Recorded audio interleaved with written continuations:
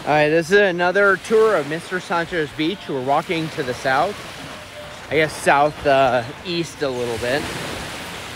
So it's gonna be a little bit shaky just because I'm old.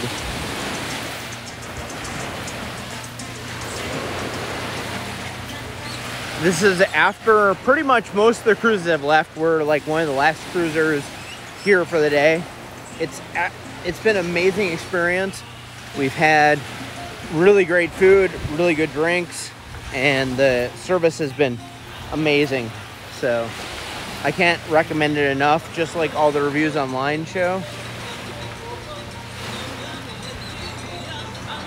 We're gonna, we're gonna tour, pan around a little bit here and walk back to the north.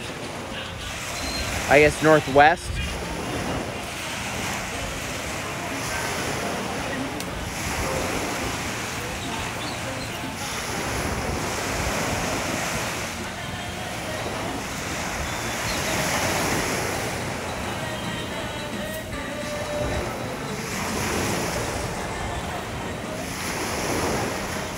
They're cleaning up for the day, so everything's being put away, cleaned up.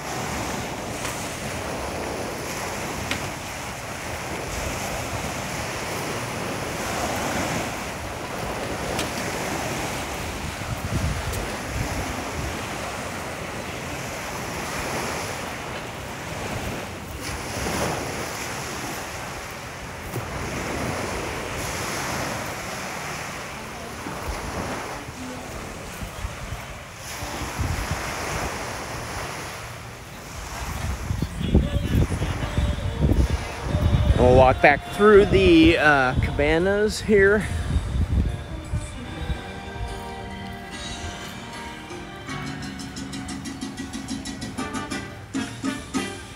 It was uh, it was a Friday, so Fridays seemed to be a little bit less busy than normal days, but it was still uh, pretty full a few hours ago. Like all these, I'd say at least 50% of the cabanas were taken, and I assume during the summer, we're in the middle of winter, all the cabanas are busy. So that is a brief look at the beach at Mr. Sancho's.